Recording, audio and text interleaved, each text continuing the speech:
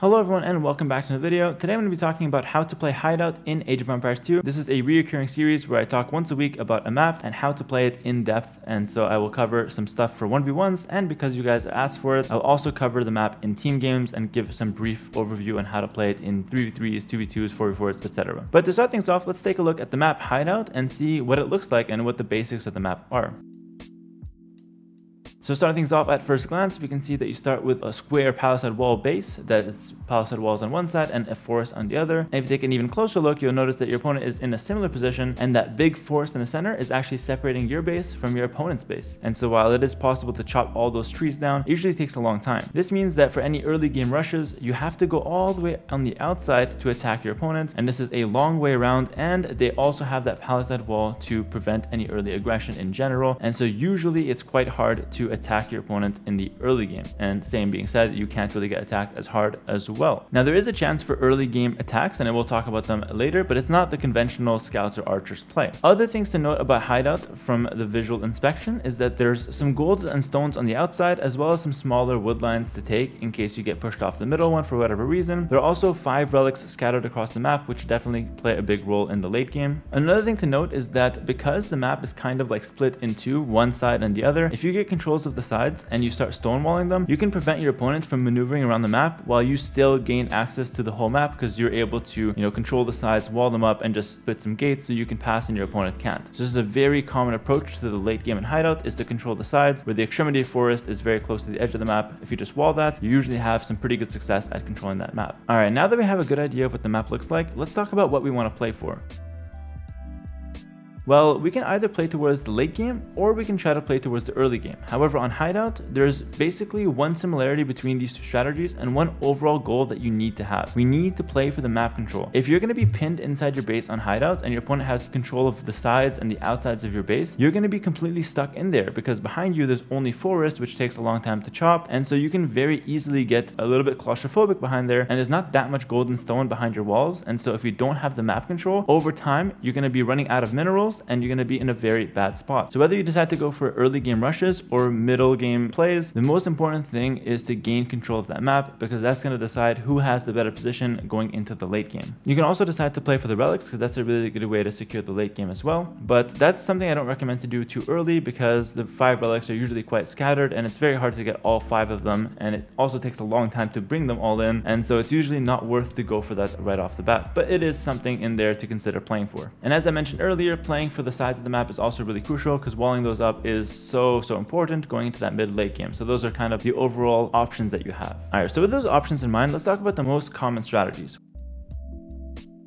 Well, if you want to do the early rushing, map control early kind of style, the only real way to put pressure on your opponent in the early game is through a tower rush. There's two ways to do this. You can either go for a pure tower rush, sending vills forward, using your towers to make sure your opponent can't wall behind, and using your villagers to break down that palisade wall. That's usually a pretty good way to break into your opponent's base and force them to fight you in feudal age. You can also go for archers or scouts once you break the wall, but you have to open with a tower rush to be able to break the wall because archers won't be able to do it, and scouts won't be able to do it either, since if you go scouts, you'll just wall behind with houses houses and you won't break in. If you go archers, even if you have fletching, you can still make market walls behind it or there's other layers of walls behind it where you can't actually reach the villagers and so your, your rush will fail, you won't be able to break it in time. And so the only way to break in is with the tower rush and the villagers. Another variant of the tower rush you can try is men at arm tower rush. So you send four vills usually with three men at arms. The men at arms kill the wall and the villagers make the tower. This is a very similar approach to the tower rush. It's just a little bit different since you have the men at arms to kill the buildings. And so it's usually more investment for you, but it has a higher punch because the men at arms can get into the woodlands or the golds or just attacking houses and it can cause a lot of havoc over time if your opponent doesn't have an answer to them. So both of these approaches are definitely very viable to breaking into your opponent's very fragile palisade wall. Now the dangers of these approaches or these strategies is that it puts the villagers in a very exposed location. So on one hand, if your opponent is going fast castle and you tower rush him, life is good because your opponent won't have any military on the field and so your tower rush will go pretty uncontested and you can disrupt him quite heavily. That being said, if your opponent also commits to some sort of feudal army in defense and doesn't go for the the Castle Age, you could stand to lose a lot of those villagers and get your tower rush completely denied. So those are definitely something you have to consider if you decide to go for the strategy. The other approach is basically, as I mentioned, fast castle. This means that you just go as fast as possible to the Castle Age and you can either get some siege pushes going in Castle Age, siege knights, that kind of stuff, or you can decide to just develop your economy by adding in a couple town centers. So these are basically the three most common strats. Either you tower rush, you go for a fast castle into some sort of push, or you go for a fast castle into a boom. All three of them are viable, all three of them are good in their own right, and it really comes down to what your civ is, what your style is, and what you actually want to go for. Neither strategy or none of the three strategies are better than the other and just gonna get you free wins. It really comes down to a lot more complicated details than that.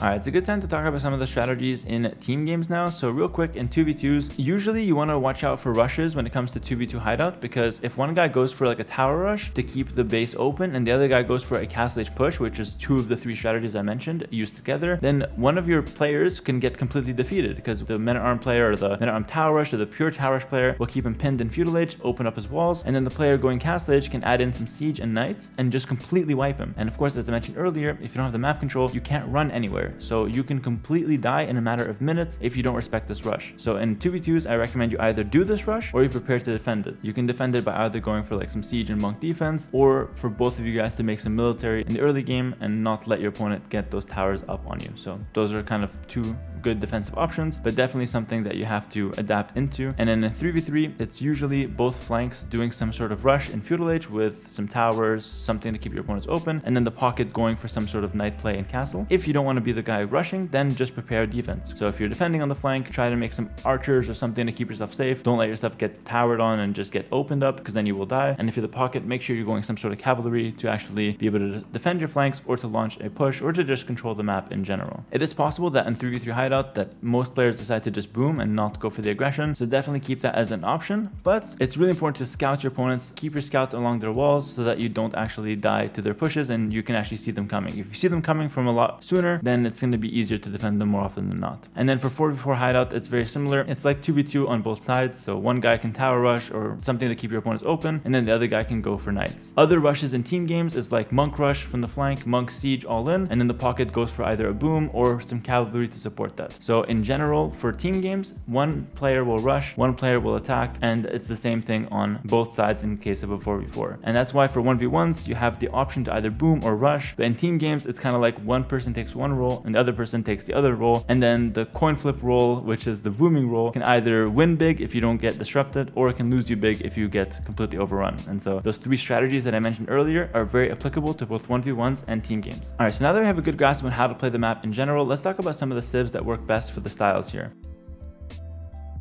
And so if you want to go for like a tower rush, the best civilizations to do this with are civilizations that are strong in the early game. Something like Romans with men-at-arm tower, those are new, good civilizations to do that with. You'll definitely be able to break in. The men-at-arms are super tanky. Civs like Poles can mine stone earlier, and so those are usually really good at tower rushing as well, because you can get that stone. It counts as some gold as well when you mine it, so that's pretty solid, lets you rush quite fast. Any civ that gets a lot of early game resources like Ethiopians can also launch a pretty strong men-at-arm tower push. And then civs like Teutons can go really nice with that pure tower rush because they can garrison 10 villas in their towers. Koreans with guard towers as well can be pretty interesting. So just usually aggressive tower oriented or infantry oriented civilizations do that first style of feudal rushing quite well. If you want to go for like some sort of siege push in the castle age or early map control, I highly recommend going for either a civilization with a strong unique unit like the Conquistador and then you can use the conquistador with some siege and monks to break in. Or you can go for some sort of monk civ like the Burmese or the Bengalis that have great monks, and then you can support the monks with some pikemen or some spears, and then some siege. And that's also a really good early castle age push. And then if you want to go for the pure boom approach, usually you want to go for something that has a good late game, like Britons with their 12 range longbows and trebs can be very deadly. Something like Teutons that can go for like a Halb or Champion Siege or Death Ball. They've got monks and Bombercans can be insane for the late game. So those civilizations that are great in the late game, then definitely booming with them can be a great option option. And so those are kind of like the styles of civs you want to pick and you usually want to match the civilization with the style you're going for.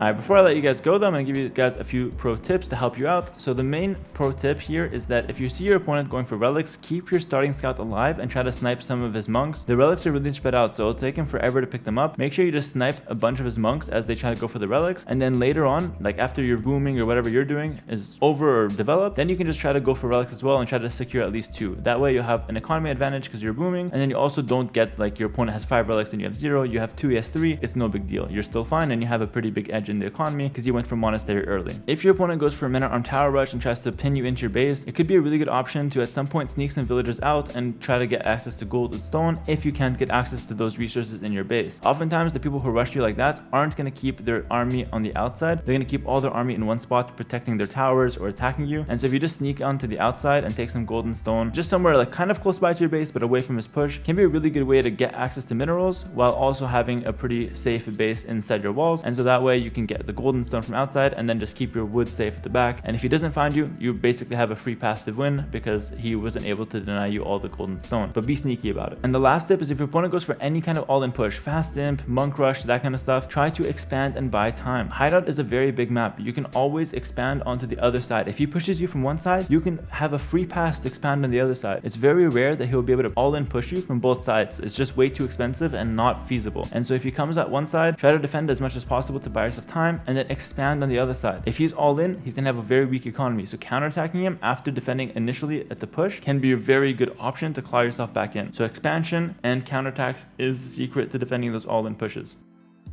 Alright, that's going to do it for this video, guys. I hope you guys enjoyed it, and let me know what map you want to see next week on this little map guide series. Thanks for watching, and I'll catch you guys next time. Peace.